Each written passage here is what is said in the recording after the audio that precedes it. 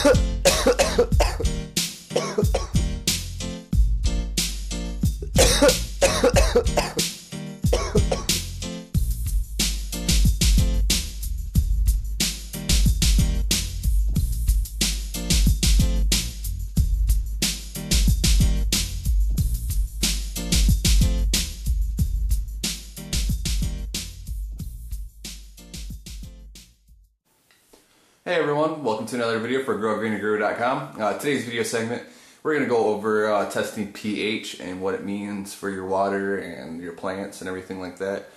Um, before we get started, what does pH mean? What is it abbreviation for?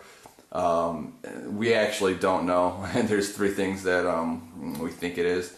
Um, the most common one is potential hydrogen, um, and two other ones are uh, potential hydronium or power of hydronium. Uh, either way, they all mean the same thing. They're basically testing the um, acidity or the alkalinity of the soil or the water or whatever you're testing.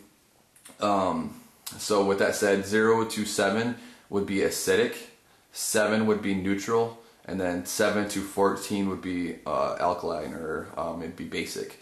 Um, so 0 to 14 is the whole scale itself. Now there's different companies that make uh, pH up and down and pH kits, pH testers. Um, you know, there's litmus paper, there's pH paper. Um, all of them are good ways. Um, to be completely honest, um, you know, get a meter. Just it's a lot easier. You know, you don't have to mess with um, you know just testing and everything like that. You just put it in and it's ready to go. Usually, I mean, the only downside to having a meter is you might have to recalibrate it. You know, but um it, that's usually like once a month anyway. And you know, just test it periodically to make sure it's on point. You know, if it is, then there's no reason to recalibrate it. But anyway, um, we're gonna go ahead and show you how to test it with the General Hydroponic solution, which is this right here. Um, you put three drops into a vial like this, but first you put it, you put your water in. So you go ahead and fill it halfway, is what they say, about halfway kind of like that, and then just throw three drops of water in it, and then see what color it turns. Um, they give you a uh, a kit, like a like a little guide to show you, um, you know what colors mean what. Um, they actually give you a separate one, but uh, the bottle has it as well. So if it's like really blue to 8.5, then it goes all the way down to basically red.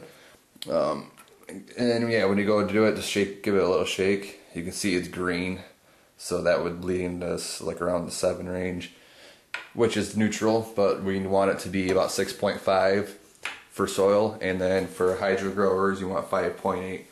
So why do you want the pH to be like that? Well, pH basically lets um, nutrients in and out. I mean, if you have an imbalance of pH, you can have a pH, uh, you can have a nutrient lockout. Um, so like it's more evident with micronutrients when you're using things that aren't needed in in uh, big amounts um, because those get locked out and then it just you just start a big battle, you know, and it it can cause a lot of problems.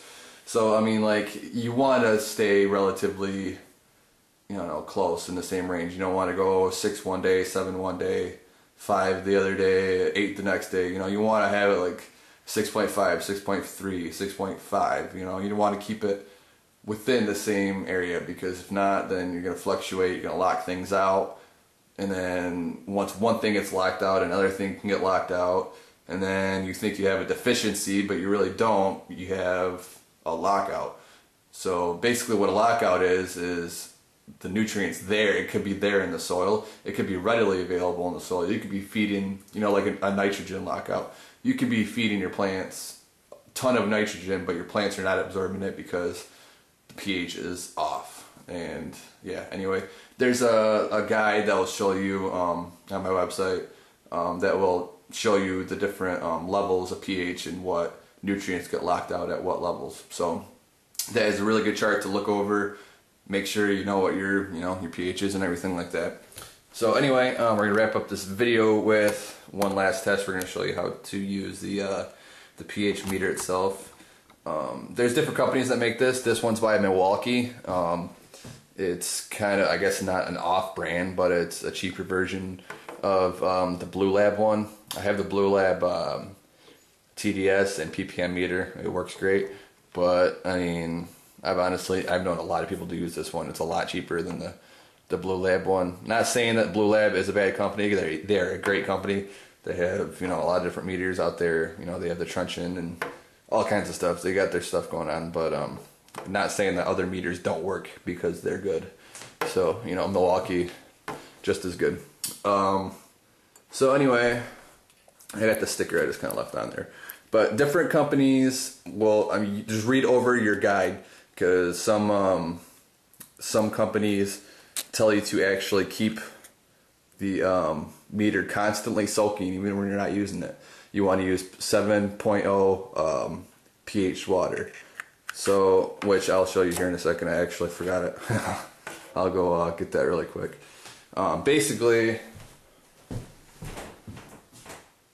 um, there's a testing solution. It looks just like this. There's a 4.012. Um, this is just your standard reference solution. This, you don't put it in anything. You just basically, this is to make sure that your um, your gauges is calibrated, your pH gauge is calibrated. So what we're gonna do is take the top off. Um, you can either pour this into a cup and then use that, but honestly I don't. I just go right from the top. Um, which the manufacturer recommends you not doing because, you know, contamination. Um, you know, after a while, this bottle is going to have a lot of contaminants that you don't want in it from, you know, going back and forth like that. So it's really good to have distilled water and then wash out between every time you do it, but I'm not too worried about it anyway. Anyway, you just go ahead and turn it on. And as you can see, it's supposed to say 7. So it says 7.1, which is 0.1 off. Um, which it would need calibration. And what you do, there's like a little hole on the side. You take a screwdriver and you go left or right with it. Um, I'd show you that, but it's, it's, it's easy. You can figure it out. Not all companies do this. Um, this one does. So, um, you know, just keep that in mind. But anyway, um, you just go ahead and put it right in your your mixing solution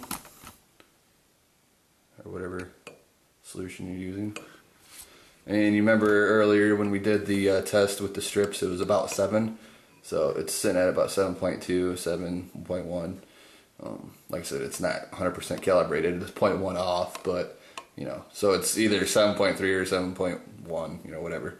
So, um, yeah, with that said, um, just make sure you read over your instruction manuals and everything like that. Um, this meter, um, it says to make sure and not remove it from the water like while it's still on. So make sure like when you put the meter in, it's off before you put it in, turn it on, read your level, turn it back off, and then remove it from the water. Do not remove it from the water while the meter's still on and turn it off. That's what it gets messed up and uncalibrated and everything like that. So not all companies do that. This one does. Um, you know, just read the directions before you go ahead and mess your meter up, you know. So anyway, um, I hope this video helped you guys out in understanding pH a little bit and the importance of it. Um, it's often very overlooked. People usually think, oh, I'm you know a soil grower, I don't need to do that. Now there's other things I need to talk about with pH, but I'll go over it in another video. Um, there's things like buffering agents and everything like that. And uh, pH perfect, um, some lines do pH perfect. But we'll go over that later. But anyway, I hope this video helped you guys out understanding what pH is and everything like that. So anyway, stay tuned for more. As always, take it easy guys. Peace.